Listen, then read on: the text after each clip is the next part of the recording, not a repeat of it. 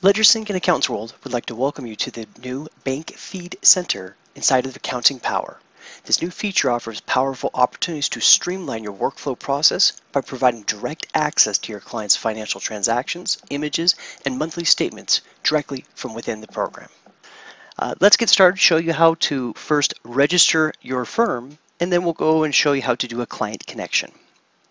From inside Accounting Power, you're going to go up to your firm administration and click on the Register Bank Feeds. After finishing the registration for your firm, you're going to want to make sure to select the client that you want to do your connection for. Then with the client selected, come up to Company, and then go to Banks and Credit Cards. Any account that you have that could be used for linking should show up at this time for your checking or your credit cards. By selecting the Bank Feed button towards the top right of the screen, a new pop-up will appear to select who should complete the registration process. Depending on your access to the client's sensitive passwords and security questions, you may prefer to forward the registration link to them for them to complete. However, if you have access to their username, passwords, and security questions, you can complete the process by selecting Register Now. Please note that from time to time it may be necessary to update and or re-enter an account security credentials due to the changes by the bank or by the client. Next, type in the name of your bank.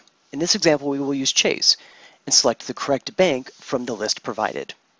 It's important to note that some banks utilize multiple URLs for different business division logins. To help eliminate any confusion, click on the hyperlink next to the icon to open a new window with the suggested website. While on this site, we recommend testing your login credentials to confirm that you have the right values. If your credentials fail while entered into the bank feed extractor, please reconfirm the information before resubmitting to avoid being locked out of the account. If your financial institution utilizes multi-factor authentication, they may attempt to verify your identity by sending a security code via text, email, or phone call to a pre-approved contact point. Due to the time-sensitive nature of this response, it is recommended that you add your contact information as an option to the account. In this example, I was able to request the security PIN be texted to my number, allowing me to respond immediately. Additionally, some financial institutions may require you to provide the answer to one or more security question established by the account owner. These responses will be required in a short period of time to complete the authentication process.